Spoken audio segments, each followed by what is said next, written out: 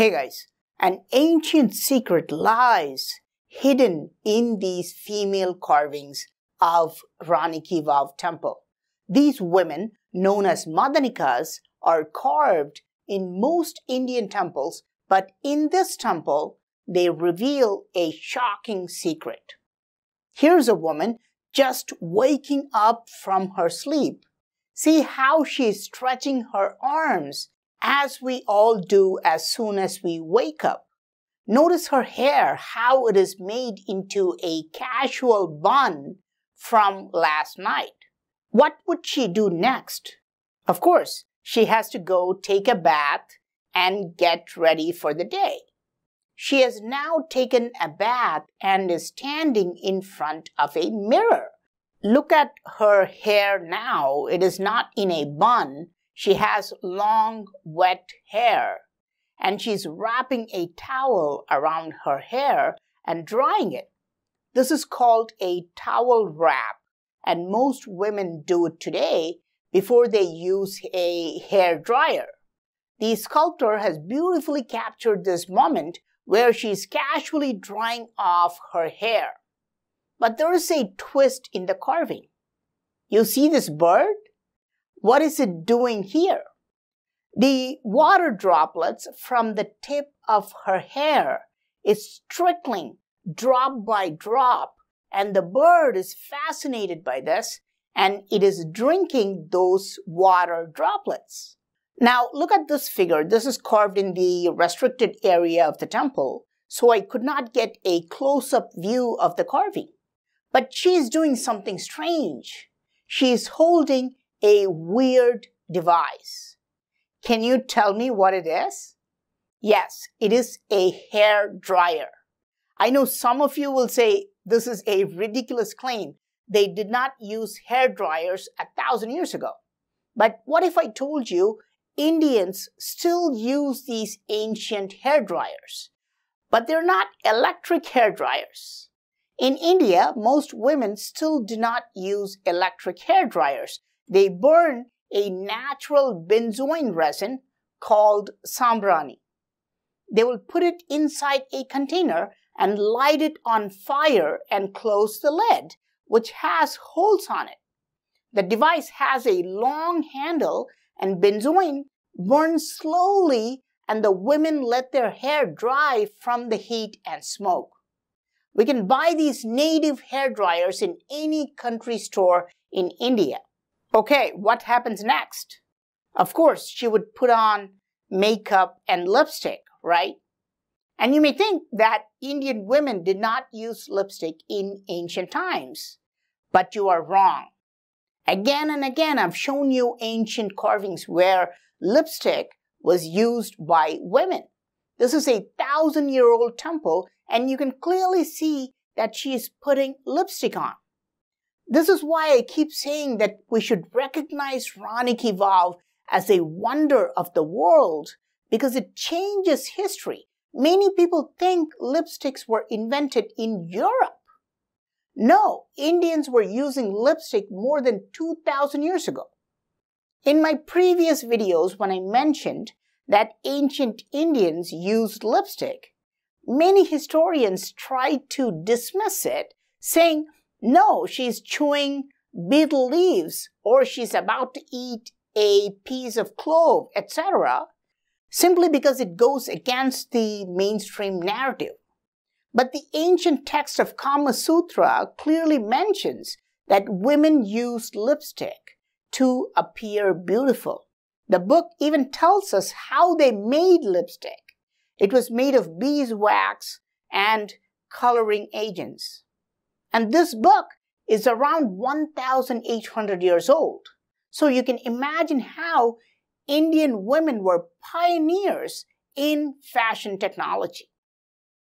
And here's another one, a woman putting eyeliner. She's looking at the mirror and she's putting on eyeliner, or I don't know if it's mascara or whatever you call it. And you may have previously thought that eyeliners and mascaras and all these fashion accessories were creations from the Western world. But look, I'm showing you a series of ancient carvings proving that Indian women were doing all of this. Women of India probably lived the same lifestyle just like today's women if they were not more advanced. Now, women naturally like to look good, but what else do they want? They also want to smell good, so they put on body spray or deodorant. And that's exactly what we see here. This is the ancient Indian deodorant and it is 100% natural. She's holding a piece of sandalwood in one hand. In the other hand, she's holding a small stone made wet with water. And she's rubbing the sandalwood and you start to see the wood slowly become sandal paste and then she will smear it all over her body and it will smell like heaven. How do I know this? Because this practice still exists today in many parts of India. But this is so backward, right? Why don't they use body sprays? Well, 50 years from now, experts will claim that these sprays give you cancer and will recommend that you go back to natural sandal paste if they haven't already started doing that. Plus, sandal paste is a very good moisturizer. It is perfect for fixing dry skin. So all this latest cosmetic stuff you see, like moisturizing cream deodorant from Dove, they were already using the same stuff in India more than 1000 years ago. Here you can see a woman putting red powder on her forehead called sindoor. It is powdered vermilion. Even today, married Hindu women put it on their forehead to appreciate the love of their husbands. Some now claim that this is pure patriarchy. Why does a woman have to appreciate her husband? And so on. But these ancient practices are based on common sense. Just like how married people in the West are wearing wedding rings. In real life, before you approach a man or a woman, you check their fingers to see if they're married or not. And this sindoor is the equivalent of the wedding ring. And what about Indian men, right? Originally, men had to wear a toe ring when they got married, and women could look at his toe and say, oh, he's a married man, and then walk away. But these practices are slowly becoming extinct because we are not researching and documenting the common sense ideas behind ancient practices. I'm not going to show you how many Madhanikas are putting on a variety of ornaments, okay? They're shown wearing earrings, they're shown donning anklets, and so on and so forth. The amount of jewelry they wore in ancient times is insane. When we recreate this visually, it is shocking to see how much gold was used by ancient Indian women. And believe it or not, Indian women alone still hold more than 10% of the world's entire gold. But everything you've seen so far was just about the body. I mean, without the mind and emotions, we would all just be lumps of flesh, right? Here, we can see a mother. Look at the bond between the mom and the child. If we look carefully, we can see the innocence in the baby's face. The baby seems to be agitated. It's about to cry for some reason. Look at the hand of the mother. She's pointing to something up top, like the moon, and telling the baby a random story to pacify the baby. Lots of carvings show women working as musicians and dancers. Here you can see this woman holding a cylindrical object in her hands. What is that? Let me recreate that using Photoshop. You see that this is a flute. Yeah, she's playing a flute. But look at her standing position. She is twisting her hip and showing her beauty while playing the flute. And also look at her feet. Her toes are not even touching the ground. This must be a native art form where they're playing flute and dancing simultaneously. And here's a carving where this woman is holding a pot in a strange angle. What is going on here? Apparently, a traveler who was walking by has knocked on her door and asked for water because he's thirsty. Look how this man is keeping his hands like a cup. But she's not going to pour water. She's going to pour milk or buttermilk from her pot. But why is she giving him milk or buttermilk instead of water? Many texts mention that ancient India was so rich that travelers did not take any food or water with them. They would just knock on any door and they would be fed with tasty food and exotic drinks. In fact, the people were so rich that giving mere water to travelers was considered an insult. Helping strangers is a key factor in human evolution. We rarely see this behavior in other animals. But here we can see this animal, a monkey playing with this Madhanika. It's pulling down her robe in a playful manner, revealing her body. The woman is trying to shoo away the monkey with a stick or with her bare hand. There are multiple carvings of this theme with slight variations. What about this one? With her left hand, she is showing a weird hand signal with two fingers sticking out. With her right hand, she is holding something that looks like a bowl. What is going on here? Do you see this at the bottom? Behind her legs, we can see, yes, it is a dog, and you can even see one of its eyes and the mouth and the wagging tail. She's feeding her pet dog and she's giving it a hand signal probably to wait rather than giving a voice command. Dog trainers sometimes train dogs with hand signals today, but we can see that this was an ancient Indian practice as well. Dogs and monkeys as pets, that's nothing, right? It's time to see some exotic pets. Here's a beautiful Madhanika, but look on top of her. What are these? Are they aliens? No, they're baby owls. Baby owls actually look like gray aliens. Recently, some people even found these baby owls in an abandoned house and thought they were aliens. But this woman has these owls as pets. This is really crazy because these carvings give us a window to look into the ancient world. Who would have imagined that ancient Indians had owls as pets? But it gets better. Look at her hand. Again, you can see the two fingers.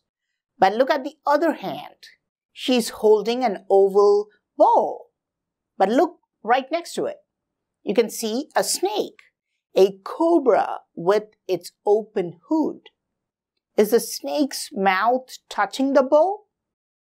I think she's extracting the venom of the cobra into the bowl. I know that the practice of venom extraction from snakes has existed for centuries in India, but here we are seeing that the cobra is not pressured by the woman. It almost appears to voluntarily release its venom into the bowl, and perhaps the hand signal is making the cobra do it. And below, you can see another bird. It's not an owl, it is a peacock. You can identify it by its long tail feathers. Imagine the lifestyle of this Madhanika. This is really fantastic. Who has owls, peacocks, and snakes as pets today, right? Strange, twisted, coiled snakes appear here and there. And this temple has many carvings of women with snakes. Look at this. This woman is almost going to smack a cobra. Look at her hand with a flat palm. She's going to slap it gently. to teach a lesson or something like that. Again, here's another one with some variation. She is showing a hand signal to the snake and the snake seems to be looking at it, but her other hand is ready to gently punish the snake. This kind of a woman was called Nagakanya in ancient Sanskrit, meaning snake woman. But why did women have them as pets? Here you can see this woman. But where's the snake? There's no snake and she looks quite seductive. She's opening the robes by herself. But be careful. There is a scorpion hiding in her clothes. Was she an ancient honey trap? This is really interesting, right? This type of Madhanika is called a Vishakanya, meaning a venomous virgin. Again, I will show you more venomous virgins in this temple. Some say they were ancient Indian honey traps. These are all shot from a distance, guys, because we cannot access this area. I was zooming in with my DSLR and this is the best I could get. But still, you can see it is the same idea. The women look seductive. They're removing their clothes, but inside the clothes, there is a scorpion hiding. This one is a huge scorpion, by the way. It can cause instant death, I think. Some historians say that these Vishakanyas acted as spies or secret agents and they would lure their enemies with their beauty. But once the enemy touched them, the hidden scorpion would do its thing and kill him. Now, we have looked at various aspects of the body and various aspects of the mind. But why are all these women carved in a temple? What's the point? The word Madhanika means something that distracts you, someone who lures you by charm or beauty. Were you distracted by their beauty or did you see the hidden detail? Did you find yourself there by any chance? Did you fall into the trap and were completely entranced by the Madhanikas? Or did you see your own soul lurking in the shadows? Everywhere you see a Madhanika, you will also see a man that represents you. He's always shown hiding because of his secret dark desires. And he's always shown sideways and directly looking at a Madhanika. Look at the eyes of these men. They're always fixated on the madhanikas. Maybe you think these are just desires of hormones and they only apply to young people and they will go away when you become older. This thought of yours doesn't reveal anything about hormones. It only reveals the fact that you're not older yet. You can catch plenty of older men as well doing the same thing. Look around every Madhanika. You can see a man hiding, wasting away his life, watching her. This temple was not built for the Madhanikas. It was built for you to convey a message to you who's always distracted by Madhanikas. Who are your Madhanikas? Are they Instagram models? Are they your classmates or colleagues? Who are you thinking about and wasting your time? Not all men are hiding though. Look carefully at the carvings and see how you may have completely missed them. What is going on here? The woman is holding this man by his beard and is just about to slap him. Very interesting. Look at his hand, how he has clasped his hand around her knee, helplessly seeking her support. Is there a difference between this helpless man and this helpless boy? Will he survive without her?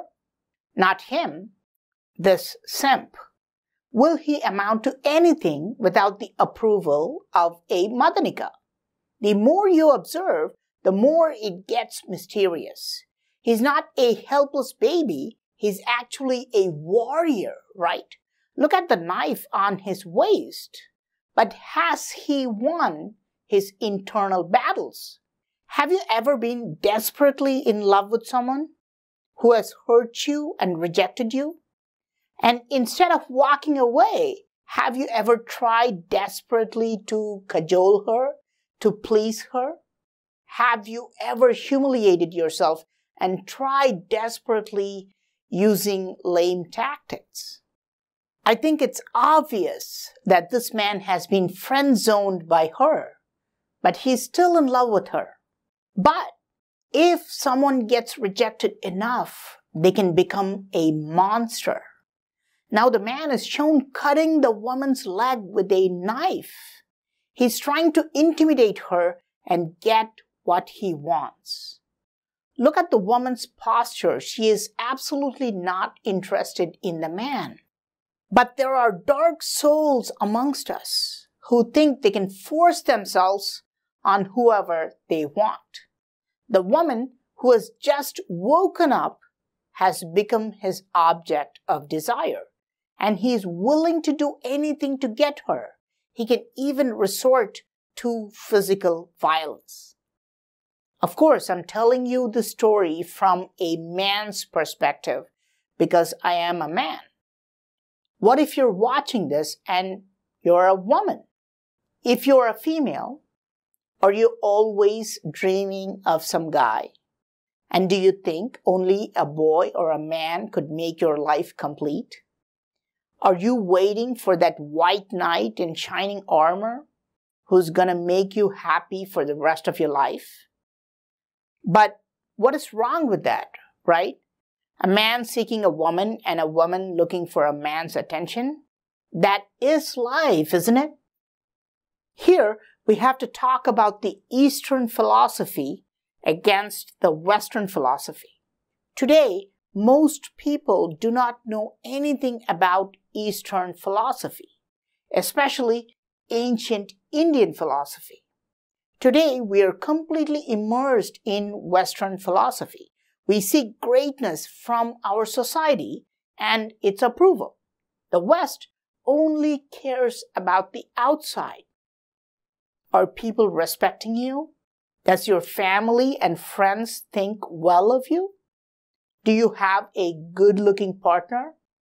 Are you getting more likes and followers on social media? Are you making a lot of money? Do you have a nice car and a big house? Do all these things make a man a complete, fulfilled person? If so, why do so many successful people commit suicides? Why are so many celebrities addicted to drugs and alcohol. What good is the society's approval if you're drowning and dying inside? The Eastern philosophy is the complete opposite. Your joy, your happiness does not come from others. It comes from you. The joy lies within yourself. The others do not matter. A husband or a wife or a relationship will not give you permanent happiness. Materials mean nothing. In the East, the greatest people are people who threw away all the materials, men who threw away their kingdoms, who walked away from their families and friends and sought enlightenment. Sometimes they had to kill their own brothers for righteousness. Sometimes they renounced everything and meditated for decades. They're the ones who are worshipped as gods in India. In Rani Ki Vav temple, the difference between humans and gods is clearly established. The humans are shown obsessed with another human or obsessed with themselves. But the gods, look at how they're shown. They always look straight, neither obsessed with others or with themselves. They're not distracted by these petty things, and they're shown in an eternal state of peace. Yet, those gods were once mere humans who had their temptations. So this ancient temple of Rani Ki shows you a path, a spiritual path to transform yourself into a divine being. You too can become a god and you can be joyful and enlightened forever. If you visit this temple, you will find the secret key to unlock your spirituality and turn your dark, selfish desires into positive, selfless energy. In the West, this process of transformation was identified by Sigmund Freud, who is the father of psychoanalysis. He called it sublimation. To put it concisely, all the extraordinary positive achievements of people were once strange negative desires. The classic example was the case of Johann Friedrich Dieffenbach, who, as a young boy, would silently approach sleeping street dogs and cut their tails off. While this gave him a cruel, twisted pleasure, his family and neighbors were shocked at his brutal and inhuman desires. However, when he grew up, he turned into an extraordinary surgeon who unselfishly saved the lives of thousands of humans. He was able to transform his cruel pleasure of cutting innocent animals into the noble act of surgery. While Sigmund Freud claimed that we have to live with our dark desires and just manage it with sublimation, Indian philosophy takes it to another level. This process of sublimation, the process of converting your base selfish desires into positive energy, was already mentioned in ancient Indian texts as Kundalini. According to these texts, Kundalini is a latent energy found in everybody in the form of a twisted snake if Kundalini is awakened properly, it can permanently eliminate your base desires and you can become joyful and be self sufficient forever. This is why Indians have traditionally worshipped gods who were once humans. And even today, the popular culture of gurus is prevalent in India. This idea of becoming a god by using thoughts and emotions and meditation was formalized into a religion called Theosophy around 1875. According to its followers, the key to become God is held by every human, and the key lies within himself.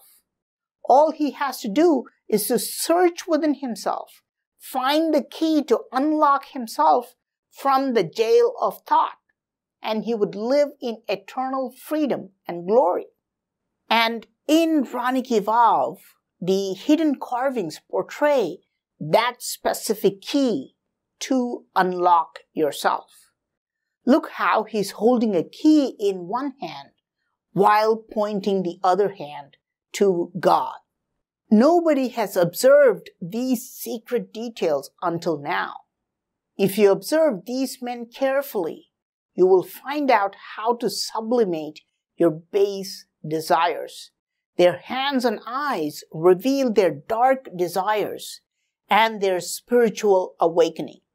These carvings show a step by step procedure for sublimating your negative energy into a positive vibration to transform yourself from a human to a divine being. I'm not going to explain this in detail. Why some men are holding some objects, why some men are pointing both hands up, why some men are pointing one hand up, why some men have their eyes closed, and why some eyes are open. But if you visit this temple of Rani Ki Vav and observe these carvings carefully, you'll find the key to unlock your true potential. I'm Praveen Mohan. Thanks a lot for watching. Don't forget to subscribe. I'll talk to you soon. Bye.